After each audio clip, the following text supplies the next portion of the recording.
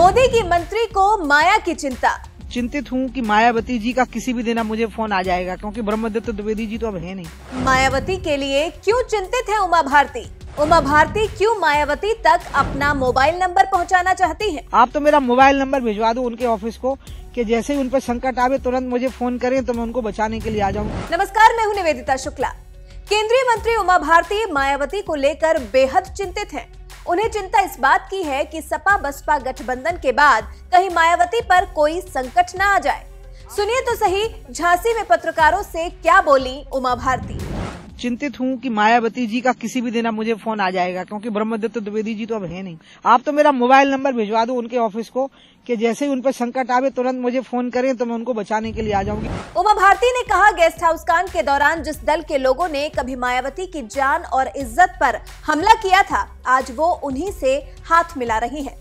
उन्होंने पत्रकारों से गुजारिश करते हुए कहा कि आप किसी भी तरह मेरा नंबर मायावती जी तक पहुँचा दीजिए, ताकि उन पर जैसे ही संकट आए, वो मुझे तुरंत याद करें।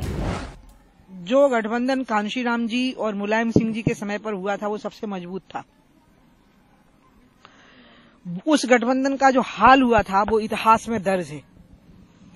और इसलिए मैं चिंतित हूँ कि मायावती जी का किसी भी दिन अब मुझे फ़ोन आ जाएगा, क्योंकि ब्रह्मदत्त द्विवेदी जी तो अब है नहीं।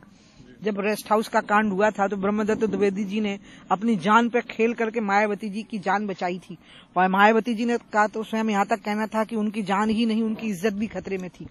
तो वो सब बचाने का जो काम किया था, वो ब्रह्मदत्त, लेकिन मेरे बात मत काटिएगा, ये मैं नहीं कह रही कि उनकी इज़्ज़त खतरे में थी। हमें तो ये कहा गया था, उनकी जान खतरे में थी, लेकिन मायावती जी का स्टेटमेंट आप लोग को याद होगा, यही था। तो जिन, जो उनकी जान और इज़्ज़त पे हमला बोले थे, आज उनके साथ वो हाथ मिलाए हुए हैं तो आप समझ लीजिए कि हमसे कितना डर लग रहा है भ्रष्टाचारियों को और अपराधियों को। और वो कितने दिन चल पाएँगी? इसलिए मैं झांसी मेरा घर है आप मेरे घर के लोग हो आप तो मेरा मोबाइल नंबर भिजवा दो उनके ऑफ़िस को कि जैसे ही उन पर संकट आवे तुरंत मुझे फ़ोन करें तो मैं उनको बचाने के लिए आ जाऊँगी।